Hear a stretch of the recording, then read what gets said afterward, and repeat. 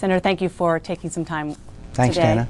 Uh, you just said that you believe that the Supreme Court decision was one of the worst in history, but the reality is the Supreme Court has now rebuffed the Bush administration's approach to um, detainees and their rights three times now. Do you think that this is big picture a backlash against what many people thought was their heavy-handed approach from the beginning? Well, I don't know because I think the United States Supreme Court is supposed to act not on their views of the performance of an administration, but on on the most important issues uh, affecting or how to implement best the Constitution of the United States. Uh, I just uh, am convinced uh, that to treat enemy combatants who are not citizens and give them the same rights as a, an American citizen. Remember, 30 of these people have already been released, have uh, tried to uh, attack America again, engaged in activities, that this is uh, a decision that will harm our ability uh, to detain and prosecute individuals who are enemy combatants who want to destroy America. And I agree with Judge Justice Chief Justice Roberts by saying that there is no precedent for this kind of action. Let me ask you this: uh, regardless of what you think about the decision, the reality is now there's a legal mess. So, yeah. and it's going to be in the lap of the next president. Mm-hmm. If you are president, what next? What do you do? I think maybe legislation working with the Congress, which would define more narrowly the ha- habeas corpus rights of people who we ha- have detained. Uh, it's very broad right now. At least try to provide some uh, definition of that, so we're not ending up with in endless lawsuits. Already, the detainees have have brought suit on diet, on reading material, on all kinds of other things that are certainly not central to uh, what we have detained them for. So, so I would hope that we could uh, at least do that. No, and you've also uh, said that you want to do pretty much on day one of your administration, you want to close Guantanamo Bay and move yes. the detainees to Fort Leavenworth. But in that scenario, would you then afford the the prisoners, the detainees, some action through civilian courts, some habeas corpus rights?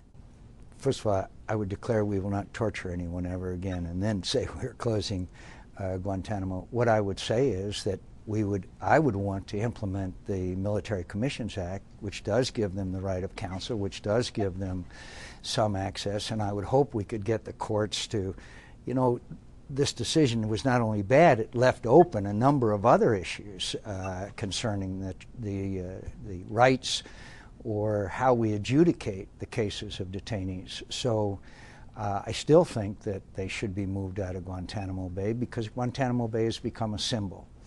And yet, at the same time, we've got a lot of work to do to try to move forward with addressing these cases. And if they are able to have endless lawsuits, uh, in my view, that would be very damaging, but not as damaging as our requirement to maybe release people who will again, as a few weeks ago, a guy came and that was one of the detainees and was a suicide bomber. You say close Guantanamo, Guantanamo because it um, is a stain on America's reputation or image. I think it's a symbol, yes, of symbol. the so, of the, so the abuse of the of the. Look, the reason why I was a sponsor of the act that prohibited cruel, inhumane, and degrading treatment was because I was against the torture and mistreatment of prisoners. So I can't defend the Bush administration's interpretation of how they could treat prisoners. That's why we did the Detainee Treatment Act uh, that I was a sponsor of, and then with Lindsey Graham and Joe Lieberman, the Military Commissions Act to try to more clearly define that. Let me move on to Iraq. You sure. know, as you know, right now in Iraq, um, there are negotiations going on about mm-hmm. the U.S. Mm-hmm. presence there, and Iraqis are trying to say that they believe that that American troops should be limited to U.S. bases, that that uh, that their air cover should be limited as well, limits mm-hmm. pretty much across the board. Mm-hmm. Would you leave U.S. troops there with severe limitations as to what they what they could do? Well, uh, that that's not going to happen. The Iraqis are engaged in negotiations with us. I know about those negotiations. They've been going on for a long period of time. Uh, they have, are achieving remarkable success. Maliki is becoming a very strong leader, much to the surprise of, of some, and very pleasant uh, outcome of this. Uh, I, believe we will uh, reach a status of forces agreement with the Iraqis. It's a give and take, it's a negotiation, and I'm confident that we'll be able to arrive at an arrangement that, success, that is in the best interests of Iraqi and Americans. What's your biggest concern? If you were president right now, what would you say is your biggest concern about what needs to be done for U.S. troops there in terms of their, the limitations on what they can do, and, and to really to achieve the, the goal that you say is so imperative, which is uh, to stay as long as it takes to find stability? Well, we are succeeding. We are winning. Uh, the three major cities uh, are now under Iraqi military and government control with our support. Senator Obama incredibly refuses to acknowledge this success. It's remarkable. Maybe he should sit down with General Petraeus, which he has not sought the opportunity to do uh, so far, or maybe even go back to Iraq, which he has not since the surge began. We are succeeding. And uh, that success means we will be able to withdraw over time, gauged by conditions on the well, ground. and we will come home in victory do? and honor and not in defeat. That's what this choice is going to be about in this election.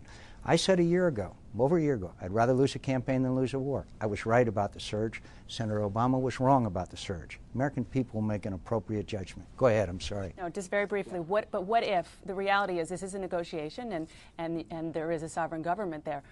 Briefly, what if the, the Iraqis limit the, what the military, U.S. military can do in a way that you can achieve what you want to but achieve? But that won't happen we will reach an arrangement with the uh, Iraqi government that I'm sure is satisfactory. We are in negotiations. They are, they're a sovereign nation, and I'm confident we will reach an agreement. May not be everything that we want, but it certainly will be in what, and I'm confident they'll reach that arrangement because it's in the best interest of both Iraqis and Americans. On the economy, you said this week that oil companies